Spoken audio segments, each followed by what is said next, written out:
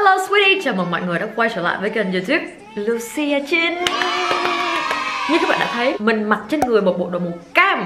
Thì ngày hôm nay mình sẽ làm một cái video review về một cái vitamin C. Có liên quan đâu mọi người?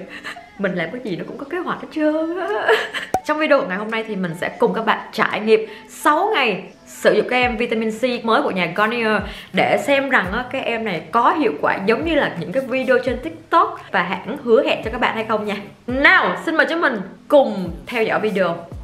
Ngày hôm nay sẽ là ngày đầu tiên mình sử dụng sản phẩm này luôn. Một hộp như thế này thì nó bao gồm 12 miếng nha mọi người và mình nghĩ rằng một miếng thế này phải dùng được hơn một lần chứ đúng không?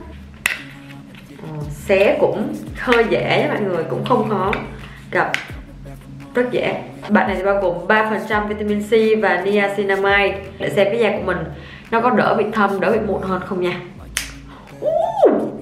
Trời ơi, rất là dễ xài nha mọi người. Có một cái mùi thơm khá là nồng, giống như là một cái mùi sữa tắm vậy đó mọi người. Chất khá là đặc, nhưng mà cũng không phải là quá dày nha mọi người. Rất là dễ tán luôn. Mình nghĩ rằng một tuyết thế này mình phải sử dụng hết một lần bởi vì nếu không thì cái concept của nó không có logic cho lắm. So far thì mình cảm thấy rằng cái bạn này khá là dễ tán nha. Để là da của mình dạ này rất là xấu luôn. Đó, nên mọi người đừng có nói là mình hay dùng app để cho da đẹp nữa nha mọi người. Bởi vì da đẹp và các bạn sẽ thấy da của mình trên camera đẹp, còn da xấu thì các bạn sẽ thấy hết như thế này này. ok, sau khi mà da của mình đã sử dụng hết một cái tuyết này thì ngạc nhiên thay á là da của mình nó không hề có cảm giác bí bách hay là bị dính. Khi mà sờ tay lên da thì mình cảm thấy là cái độ dính của nó rất là vừa phải, không hề quá dính cho mọi người. Và có một cái nhược điểm mà mình nhận ra ngay lập tức, đó chính là cái bạt nhựa này nó khá là cứng. Nên là các bạn nhìn thấy là tuy rằng sản phẩm còn cũng khá khá nhiều trong này này nhưng mà mình cũng không thể nào bóp hết để mà lấy hết sản phẩm được bởi vì nó rất là cứng. Thứ hai chính là cái mùi của nó rất là nồng, nó y hệt như cái mùi rửa tay là sữa tắm mà các bạn hay sử dụng. Tuy nhiên thì sau khi mà bơm khoảng tầm 5 đến 10 giây thì các bạn sẽ thấy là nó bay đi gần như là hết luôn cái thứ ba nữa đó chính là cái mức độ khô ráo của sản phẩm nó không nằm ở mức cao nhưng mà cũng không nằm ở mức thấp nghĩa là à, thật sự các bạn cần phải táp và xoa trong một khoảng thời gian khoảng đâu chắc tầm cũng một phút đó thì sản phẩm này nó mới bắt đầu ráo lại trên da của các bạn uh ngày hôm nay thì mình sẽ sử dụng lần thứ hai. Thật sự là cái tinh chất này nó rất là nhiều luôn mọi người, nhưng mà nó thấm khá là nhanh nha. Sau khi đã thấm thì nó sẽ không để một cái cảm giác bí bách khó chịu gì cả, nên là đây là một cái điểm rất là thích. Tự nhiên đến lúc mình cho mọi người coi nó không còn nữa vậy ta. À đây nè. Đây. Giống như là các bạn ở dơ sau đó là các bạn kỳ ra gồm vậy đó, thì nó y hệt giống như vậy luôn. Từ sáng đến giờ thì nó cũng rất là nhiều nha mọi người đó. Khắp mặt luôn. Nhưng mà gương mặt của mình nó không hề có cảm giác là khó chịu, hầm bí, khô rát. Nói chung là cái cảm giác cũng êm êm. Ok, ngày hôm nay là ngày thứ ba thì theo cá nhân của mình cảm thấy là những cái vết thâm của mình đó nó không có gì tiến triển là mấy. Tuy nhiên đó thì cái mặt của mình, các bạn có thể thấy là nó có những cái đốm đỏ li ti rồi ha. Cái này mình cảm thấy thật sự là nó khá là mất tiền nha mọi người, chứ không hề tiện lợi cho người tiêu dùng đâu nha. chê nha mấy bà. Ờ, biết phải để dành cho cai xài nữa. Cai đang là skincare nè mọi người. Hello. Quen với bạn gái beauty vlogger thì chạy chạy thôi đúng không mọi người?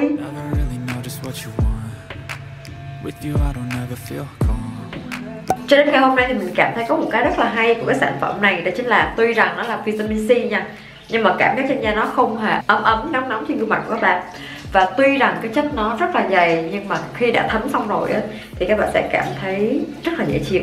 Sáng hôm nay khi mà mình ngủ dậy thì mình cảm thấy là cái mặt của mình nó lại không còn bị bị bỡ bỡ nữa nó không còn gờm nữa.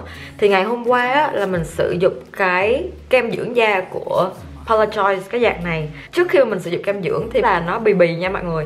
Nhưng mà sau khi mà mình massage với lại cái kem dưỡng này thì kiểu như là những cái bì đó nó được tan ra. Và sáng hôm nay khi mà mình ngủ dậy thì mình cũng không còn thấy cái hiện tượng đó xảy ra nữa. Vậy nên cái cảm giác mà nó bì bì bở bở đó nó sẽ còn phụ thuộc vào cái việc kem dưỡng của bạn dùng là loại nào nữa. Còn đây là da của mình khi mà sáng sớm mình ngủ dậy nè. À, thật ra thì da của mình hiện tại bây giờ nó cũng không có được đẹp lắm nha mọi người. Um, vẫn chưa hồi phục 100% và da nó vẫn chưa láng lại như bình thường. Sáng nay sau khi mà mình đã sử dụng bát A thì da của mình nó đã đỡ những cái mảnh đỏ hơn rất là nhiều. Chết rồi cô nói sản phẩm hiện tại bây giờ thì mình không biết có phải là mình ảo giác hay không. Tuy nhiên thì mình cảm thấy cái vùng da này của mình, những cái vết thâm á, nó đã đỡ hơn một tẹo rồi đó mọi người. Tuy nhiên thì mình sẽ để hai cái video so sánh cho mọi người xem có thật là nó đỡ hay không nha. Bây giờ thì mình sẽ tiếp tục. Các bạn ơi, cái thiết kế này thật sự nó rất là bất tiện luôn đó khi mà mình để trong cái túi, mọi người thì nó đã gãy và tự mở ra như thế này rồi nè. Chắc chắn là do bản thân của mình bất cẩn nữa. Tuy nhiên thì thật sự cái miếng này nó rất là dễ mở nè mọi người. Những cái nếp gấp như thế này nè là mình không thể bóp được nữa bởi vì cái thành của nó rất là cứng mấy ngày nay mình check điện thoại nhiều, để bán hàng các mọi người. Nhìn hai con mắt của mình nè. Chặng đường của chúng ta gần như đã kết thúc. Chỉ còn hai trip nữa thôi nha mọi người, là chúng mình đã đi hết một quãng đường 6 ngày.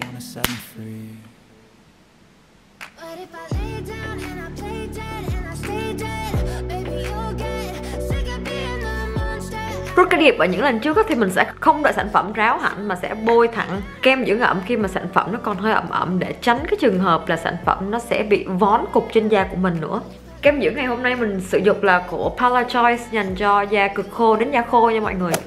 Ngày hôm nay là ngày thứ sáu và mình nảy ra một ý tưởng đó chính là mình sẽ để một nửa ống còn lại sử dụng vào sáng ngày mai. Thứ nhất là mình muốn xem rằng nếu như mình để như vậy thì cái sản phẩm này nó có bị biến chất hay không. Cái thứ hai nữa đó chính là mình muốn rằng cái da của mình lúc nào nó cũng sẽ có vitamin C này bao phủ để mà cái khả năng làm sáng màu của nó sẽ phát huy tốt hơn. Tới tại cái thời điểm này thì mình cảm thấy là cái vùng này của mình nè có thể là nó đã sáng lên rồi đó mọi người. Chỉ có cái nốt mụn này thì nó còn đang hoàn hẳn nên là nhìn nó vẫn thâm và đậm hơn. Ờ, vùng da bên đây thì mình chưa có cảm thấy bằng mắt thường nó sáng hơn. Tuy nhiên là mình chắc chắn sẽ để hai cái video so sánh cho mọi người dễ thấy ha. Hôm nay mình sẽ chỉ dùng một lượng vừa phải thôi. Mình thật sự không thích cái mùi của bạn này một tí nào nha mọi người cái mùi nó khá là nồng và hơi thiên hướng hóa chất. Mình đã quay trở lại thì mình cảm thấy nha, cái da của mình ngày hôm nay bôi một lượng serum vừa đủ, kem dưỡng ẩm vừa đủ thì mình cảm thấy rằng mình thích cái cảm giác này hơn rất là nhiều. So với lại cái cảm giác là mình sẽ phải bôi hết nguyên một cái tuyết như thế này thì mình cảm thấy thật sự cái packaging của các bạn này vô cùng bất tiện luôn đó mọi người. Sau một đêm thì để xem là cái sản phẩm này nó có tệ hơn hay không nha mọi người. Đây là cái vitamin C của Garnier ờ, cực kỳ nổi tiếng.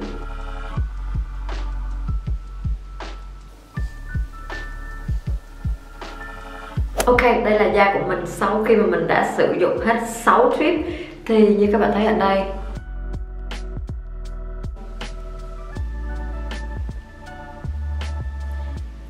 mình có cảm giác là cái khúc này của mình nè mọi người nó đã sáng đi. Tuy rằng á, nó không mờ hẳn nhưng mà nó có sáng lên nha mọi người khi mà các bạn đã coi cái hành trình trải nghiệm 6 ngày của mình thì các bạn cũng đã hiểu thêm về sản phẩm rồi ha. Tuy nhiên thì mình vẫn muốn nói thêm một số những cái điều về sản phẩm này để mà các bạn có thể hiểu hơn về sản phẩm hơn nữa. Trong vòng 6 ngày sử dụng á, thì mình thật sự cảm thấy là cái vùng da này của mình là những cái vết thâm mới á, nó đã được sáng lên. Theo mình thấy nha 6 ngày á, nó là một cái khoảng thời gian cũng khá là ngắn cũng có thể làm sáng lên như vậy rồi. Thì sản phẩm này không phải là một sản phẩm vô thưởng vô phạt quên mình đang đề cập về ưu điểm của sản phẩm nha mọi người. Ưu điểm thứ hai đó chính là một tuyếp như thế này nó có khá là nhiều sản phẩm và tuy rằng mình bôi khá là nhiều sản phẩm trên mặt một lần nhưng mà sản phẩm nó vẫn thấm và rất là nhẹ mặt không hề gây ra một cái cảm giác hầm bí bách khó chịu. Cái ưu điểm số 3 đó chính là tuy rằng á, mình đã mở sản phẩm rồi và để sản phẩm trong tủ lạnh trong vòng qua đêm á, thì sản phẩm cũng không hề bị biến chất biến dạng biến màu. Và các bạn có thể hoàn toàn chia một tiếp này ra hai lần sử dụng giống như mình cái ưu điểm số 3 đó chính là cái khoảng thời gian mà bạn này thấm lên trên da nó không phải là quá nhanh, cũng không phải là quá lâu. Nếu như mà các bạn có một cái máy massage á Bear của Foreo thì các bạn hoàn toàn có thể kết hợp bạn này và sử dụng máy để massage trên gương mặt. Ưu điểm thứ tư đó chính là bạn này á, rất là dễ mua chính hãng. Các bạn có thể lên Lazada và Shopee. Mình sẽ để link ở dưới để cho các bạn có thể tham khảo để mua ha. Thì bạn này chỉ cần các bạn muốn mua có tiền là sẽ mua được thôi, chứ không cần phải order từ những cái shop sách tay. Rồi sau đây sẽ là nhược điểm và cá nhân của mình cảm thấy thì bạn này có khá là nhiều nhược điểm nha. Nhược điểm đầu tiên bạn này có giá là 235.000 đồng cho 18ml thì đây không phải là một cái giá bình dân nha mọi người. Tuy nhiên á, nếu như sản phẩm nó đựng vào một cái chai này thì có lẽ là mình sẽ mua với lại một cái mức giá như thế này. Nhưng nếu hãng vẫn tiếp tục để cho cái vị như thế này thì có lẽ trong tương lai mình sẽ không mua lại sản phẩm. Nên mình thấy thì cái mục đích mà hãng muốn làm ra cái vị như thế này là để bảo quản vitamin C cho nó chất lượng hơn. Thế nhưng vitamin C nó là một loại rất là nhạy cảm với ánh sáng và nhiệt độ mà hãng lại để một cái dạng trong suốt như thế này. Những cái sản phẩm vitamin C của những cái hãng lớn á, thì thường họ sẽ để trong những cái hộp kín khí và hạn chế nhất có thể ánh sáng có thể chiếu vào lọ. Tuy nhiên thì cái sản phẩm này được trần trụi như thế này đây. Cái nhược điểm thứ hai của cái packaging này đó chính là bạn này á rất là dễ mở sản phẩm luôn. Vậy nên là nếu như bạn có mang sản phẩm này đi du lịch đó, thì các bạn cần phải để sản phẩm trong hộp hoặc là để trong một cái khuôn để mà làm thế nào đó cái sản phẩm này nó sẽ không va đập vào những cái sản phẩm khác bởi vì sản phẩm này sẽ rất là dễ tự mở bởi vì cái nếp gấp của nó rất là mỏng đó mọi người. Bây giờ thì chúng mình sẽ qua một cái nhược điểm một cái chất của cái em này. Bạn này thì khá là kén kem dưỡng nha bởi vì hai trong ba loại kem dưỡng khác nhau mà mình sử dụng chung với lại cái sản phẩm này thì nó đã có tình trạng vón cục.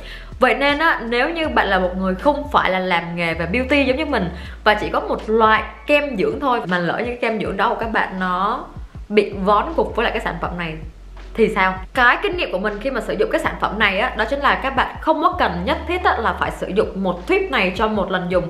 Các bạn hoàn toàn có thể sử dụng nửa tuyếp vào buổi tối và nửa tuyếp vào ban ngày ban ngày các bạn chỉ cần để cái sản phẩm này trong tủ lạnh là ok. Theo cá nhân của mình, cảm thấy thì bạn này không hề bị biến dạng, biến chất, biến mùi sau khi mà mình đã để một ngày trong tủ lạnh. Và lúc nào cũng để cái tuyếp này trong cái hộp này nha mọi người. Bởi vì như mình đã nói là vitamin C nó rất là nhạy cảm với ánh sáng. Bên cạnh đó thì cái bạn này rất là dễ bị bị bung, bị mở cái nắp. Nên là lúc nào mình cũng sẽ để các em này trong cái vị. Ok, một cái câu hỏi chốt đơn đó chính là có hối hận khi mà mua cái sản phẩm này hay không? Theo cá nhân của mình cảm thấy thì mình là một người đã làm ra tiền rồi và sản phẩm này nó cũng không phải là quá mắc so với khả năng của mình.